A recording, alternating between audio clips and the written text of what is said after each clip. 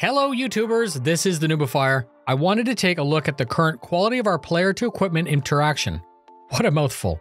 Enemy Contact tested this out yesterday by hosting a burger eating contest at the Commons on Microtech. The idea came from watching The Few on Twitch. He's linked in the description, so please give him a follow.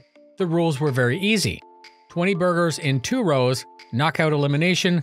The first to eat 10 is the winner. It was fun to play around with the player interaction system, which is still super sketchy, but a fun proof of concept. Animations are rough, the physics makes no sense whatsoever if the objects collide, but it's still an alpha, and I'm not actually concerned about it.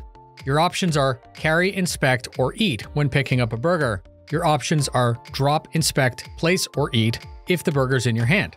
Options change depending on what you're interacting with, so a weapon would have its own options.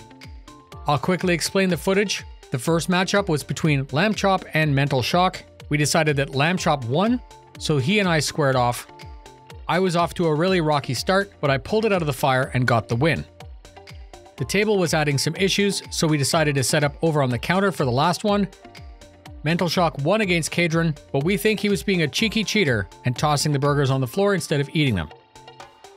So, testing an alpha can be fun and light, and this was the point that I wanted to portray today. Games can be challenging, but mostly the fun is up to what the players do. CIG has a long way to go to get these animations and physics to work properly.